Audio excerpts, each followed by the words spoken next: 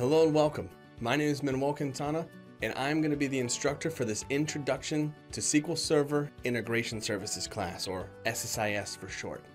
I am going to be with you through the entire duration, and I hope you're excited. If you're here, business developer, maybe you've seen a little bit of SSIS, maybe you haven't seen any, that's okay. That's what this class is for. It's an introduction, but trust me, by the end of it, you are going to be well knowledge and feel really comfortable with SSIS. So this class is Introduction to SSIS.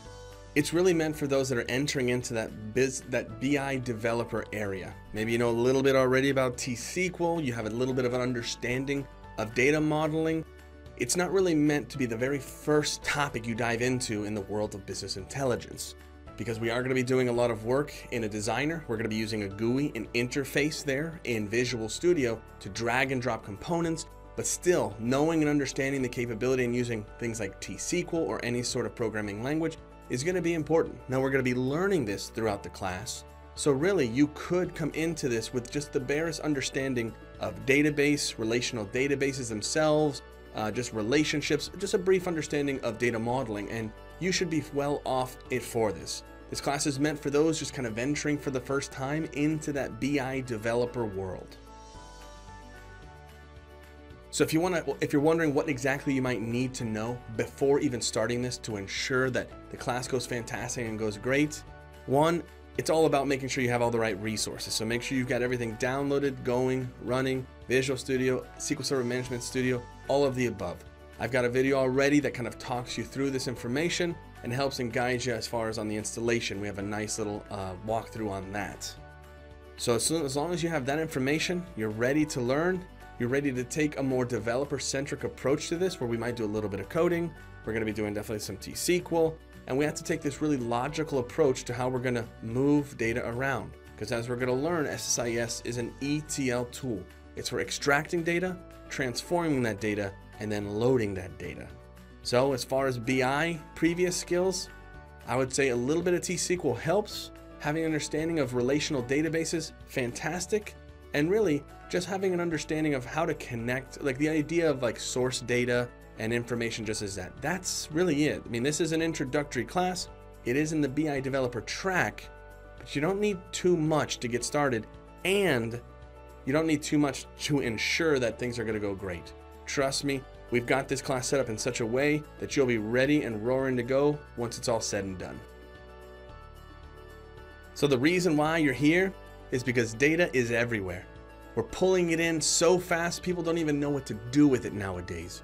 And a lot of times, we need to move that data into different areas. We need to clean up that data. And that's what SSIS or SQL Server integration is all about. That's what it can handle and that's what it can do. Pulling from various different sources, creating some logic to clean things up to our organizational standards, and then putting it in some sort of centralized area that eventually will make reporting much easier. It is a massive piece of the business intelligence life cycle, right? The idea of ETL, extracting, transforming, and loading exists everywhere. So SSIS is an integral part of the business intelligence stack that Microsoft has as an offering. There are other ETL tools out there, but SSIS is one of the most popular ones in the entire industry and in the entire working area of business intelligence. So yes, SSIS is massive. It is here to stay if we kind of compete against the idea of cloud services and what can be done there, there is a kind of a comparable offer that is coming into the market. It's been around for a little bit now, but we're talking about Azure Data Factory. But still, integration services still has its place. One, it is going to be the only on-premise solution because Azure Data Factory is a cloud-based technology. So if it's on-prem, they have to use that versus Azure Data Factory. As time goes on, we might see a little bit of movement from SSIS over to Azure Data Factory, but when that time arrives, we already have a training platform, a training class that you can watch so you can learn about it. And there's going to be a lot of parallels, a lot of understanding on what, when you learn SSIS, there's some nice crossover and understanding what Azure Data Factory is doing. As of right now, it's still massive, it's still important, and it'll absolutely if you're in the in the kind of the job marketplace you're looking to get something being a bi developer with an ssis skill set is quite something to have on the resume So SSIS has been around for quite a long time, right? 2005, 2008. Even before that, we had 2004, which was DTS. This ETL process, this type of a tool has been around for a long time. And what we offer here that's different is the fact that I'm talking to you right now. SSIS changes with the versions of SQL Server, and we ensure that what you're learning is going to be the newest and the best offerings. That's why we're using the newest technologies, the databases, we're trying to keep us up to date with the data, and the techniques that we're leveraging as far as using SSIS to move data around, that we're showing those to you. And all together in one nice consolidated environment. We're going to take this piece by piece and one from one logical piece of understanding to the next. And we're going to build upon that knowledge. So at the end, you have a nice, sturdy building block. Think about it, we're going to build you up into a nice castle, right?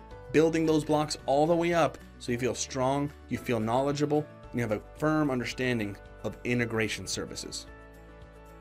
So you're going to be sticking with me for the entirety of this class. And when we finally hear that drum roll, when we're nearing that finish line near the end, it's going to be quite a long while, but it's all fantastic content, right? Hours and hours of learning because that's what you're here for, to take it all in and become a, a just knowledgeable, become better than that person right next to you and understanding SSIS taking this under your control. You get this skill set.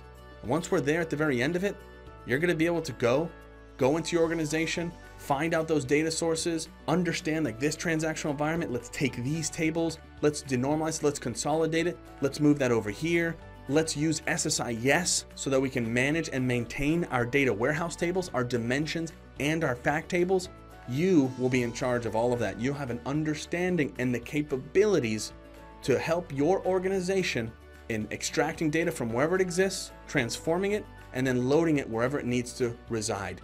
And you're gonna do this and set it up in a way that it's gonna be dynamic and it's gonna be scheduled and it's gonna be automatic, which is gonna make everything so much more efficient.